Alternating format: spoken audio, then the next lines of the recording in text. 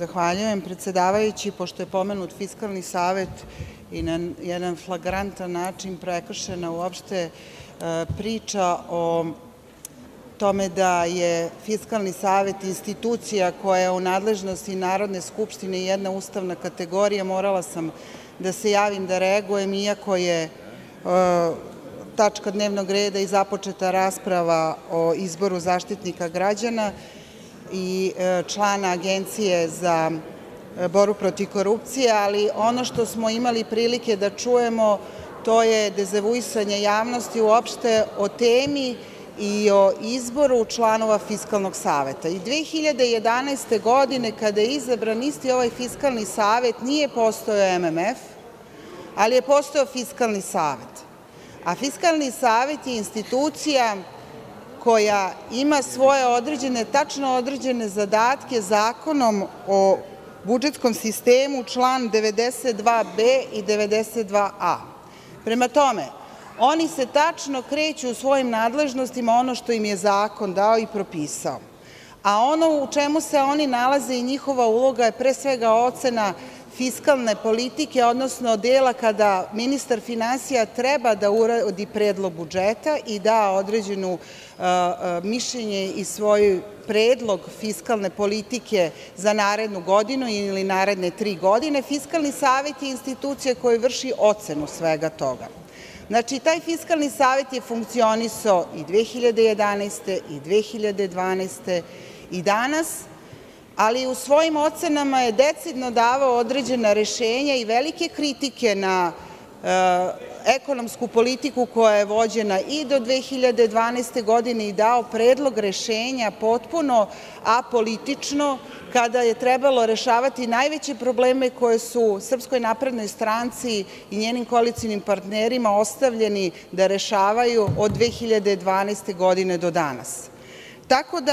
Da, kada govorimo uopšte o tome da treba predložiti Fiskalni savet u skladu sa zakonom, onda govorimo o tome da predloge za predsednika Fiskalnog saveta, prema zakonu koji sam navela, daje predsednik Republike Srbije, za članove daju ministar finansija Republike Srbije i guverner Narodne banke Srbije.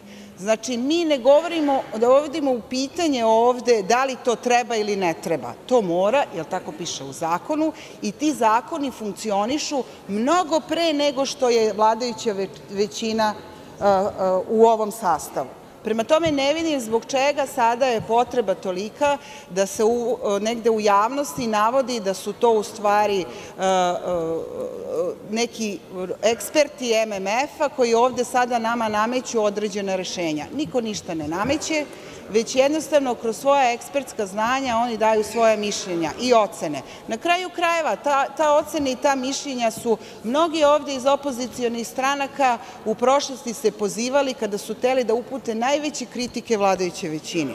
Ali ono što treba reći da na sednici Odbora 11. jula 2017. godine je usvojen Predlog odluke o izboru članova Fiskalnog saveta u skladu sa članom 92b Zakona o budžetskom sistemu, nakon čega smo dobili u pisanom obliku predloge kandidata, i to za predsednika Fiskalnog saveta Republike Srbije gospodina Aleksandra Vučića, gospodina profesora dr Pavla Petrovića, za člana Fiskalnog saveta od strane ministra finansija gospodina Dušana Vujovića dr Nikolu Altiparmakova i za člana takođe Fiskalnog saveta od strane guvernera Narodne banke Srbije gospođe Jorgovanke Tabaković, profesora dr Vladimira Vučkovića.U raspravi smo mi tada imali prilike da čujemo ova različita mišljenja, znači od ovoga da su oni eksperti MMF-a, nalogodavci,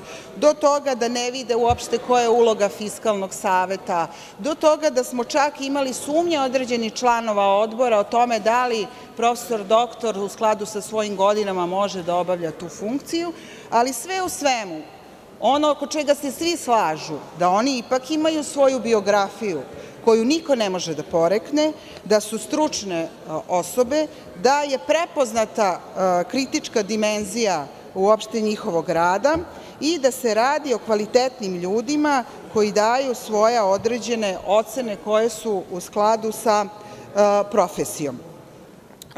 Kada govorimo uopšte o biografijama, pre svega bih rekla da zbog javnosti moramo da znamo o kojim kandidatima mi danas govorimo.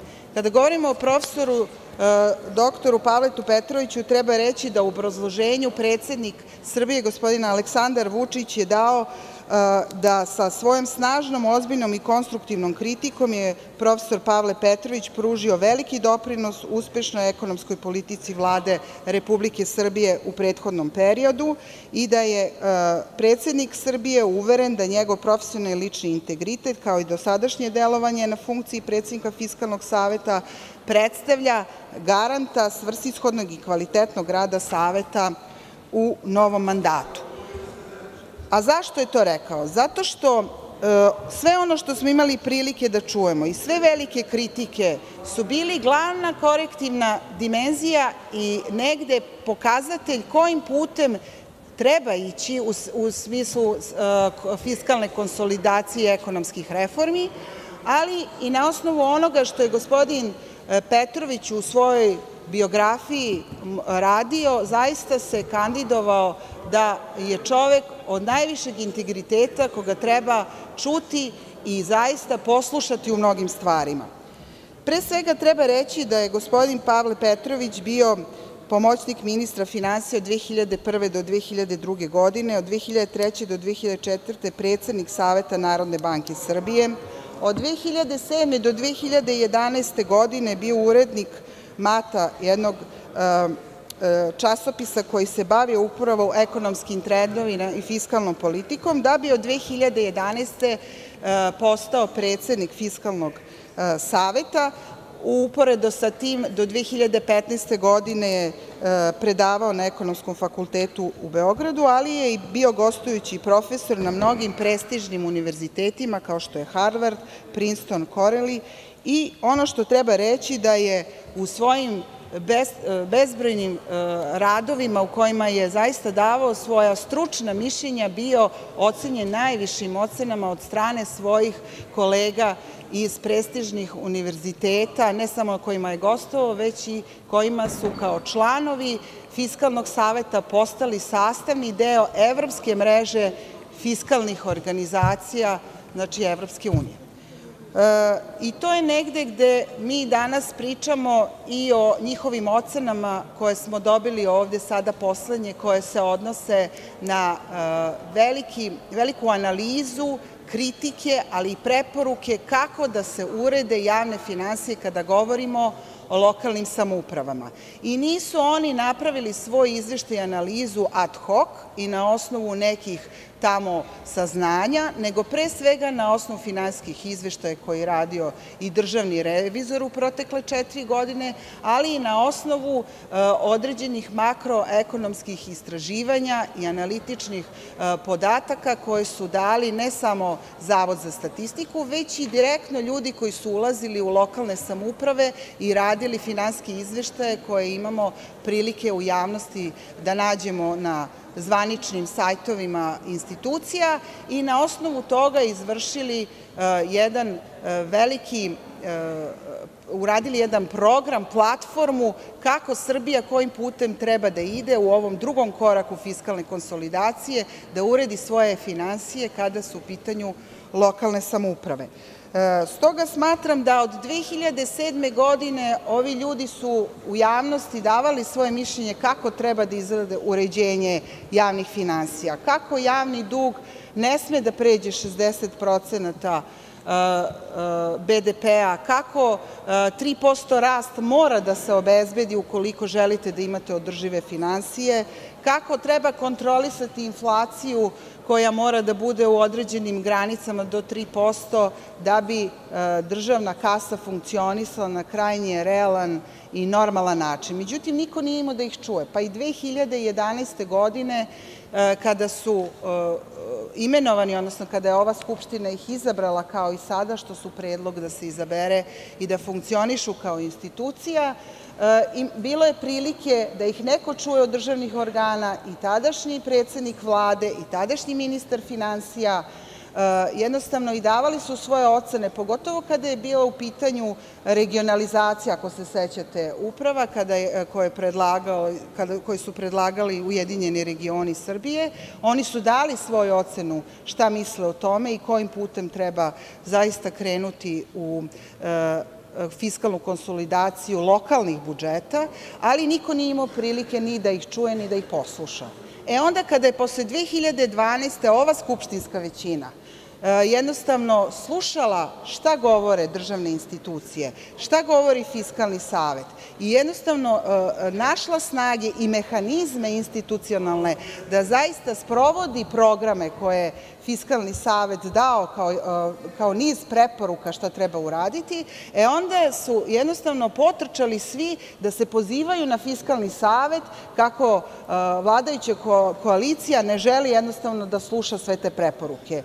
Korak po korak slušale su se te preporuke, radilo se mnogo na tome, čak ni sam Fiskalni savet nije verovao da je Srbija spremna da zajedno sa Vladom Republike Srbije sprovede najteže ekonomske reforme, da bi upravo ekonomski rast porastao i došlo do nekih 2,7% 2016. godine, nego su i oni sami davali da će realan rast biti 1,7%, pa su na kraju promenili svoje mišljenje. Nisu ni verovali da će javni dug početi ovom brzinom da pada, došli do toga da su zastupali da Fiskalni savet u stvari sve vreme kritikuje ovu vlast. Upravo zbog takvog kritičkog stava ova vladajuća većina je shvatila da na krajnje prijateljski način ovakva institucija u ovom sastavu treba da postoji, zato što uvek treba da postoji u društvu kritičko mišljenje na koje treba da se osvrnemo i zaista treba da primenimo određene faze u preporukama takvih izveštaja i takvih ocena zarad svih nas, zarad toga da nam svima bude bolje, da jednostavno imamo održivo funkcionisanje naših javnih finansija, jer zbog toga mi danas imamo i puteve i mogućnost da određene velike države dođu i investiraju ovde i u infrastrukturu, ali da dođu i otvore mala i srednja preduzeća, pa bogami i velike fabrike, da zaposle velike svoje industrije i prebace proizvodne kapacitete ovde u Srbiji. Ono što se pokazalo kao neodgovorno poslovanje do 2012. godine, sklapanje ugovora kakve smo imali sa Fijatom, ne možete da objavite radite koji su uslovi ugovora sa Fijatom zato što je neko tamo napisao da je to poslovna tajna, zato što bi država morala da plaća velike penale, velike štete, ali država mora da pomogne ostatak i ostajanje ovakvog funkcionisanja auto industrije kao što je Fijat, jer tamo radi veliki broj ljudi i Kragujevac nije više dolina gladi kao što je bila u vreme dok Fijat nije došao u Kragujevac. Prema tome, samo odgovorna politika pokazuje da ukoliko ekonomski održivo vodite svoje javne finansije, imate mogućnosti da otvorite prostor za priliv stranih direktnih investicija, ali i domaćih investicija, imate prilike da posle toga iz proizvodnih kapaciteta koje ostvaruju ovde prihode u budžetu na osnovu poreza i doprinosa kao država, finansirate u izgradnju škola, bolnica, kulturnih dobara, odnosno kulturnih objekata i samim tim finansirate i taj neproizvodni deo svakog društva i ulažete u nova znanja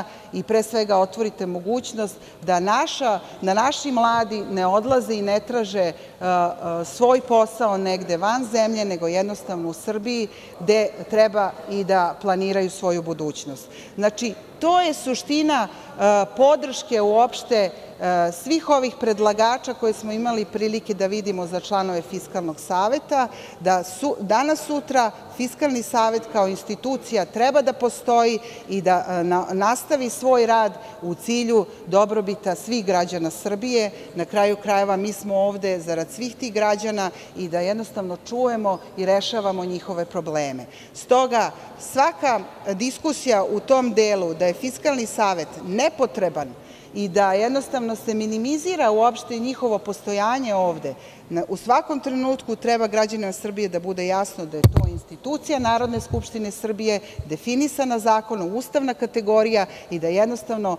ona mora da postoji. Hvala.